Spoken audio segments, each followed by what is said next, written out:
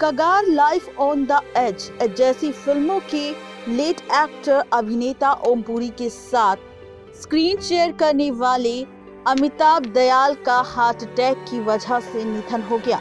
खबरों की मिली जानकारी के अनुसार तबीयत खराब होने की वजह से बीते तेरह दिन से वो हॉस्पिटलाइज थे। इलाज के दौरान जब 2 फरवरी 2022 को साढ़े चार बजे उनका निधन हो गया बता दें कि एक्टर अमिताभ दयाल, इनके अलावा फ़िल्म रंगदारी धुआँ फ़िल्मों में नज़र आ चुके हैं। साल 2000 में अमिताभ ने मराठी डायरेक्टर मृणाली तिरिणली पाटिल से शादी की थी।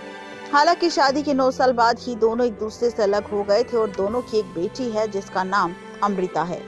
तो ये है बेहद ही बुरी खबर, जहाँ पर एक के बाद एक लगातार निधन की खबरें बॉलीवुड इंडस्ट्री से सामने आ रही है। नेक्स्ट लाइफ की रिपोर्ट।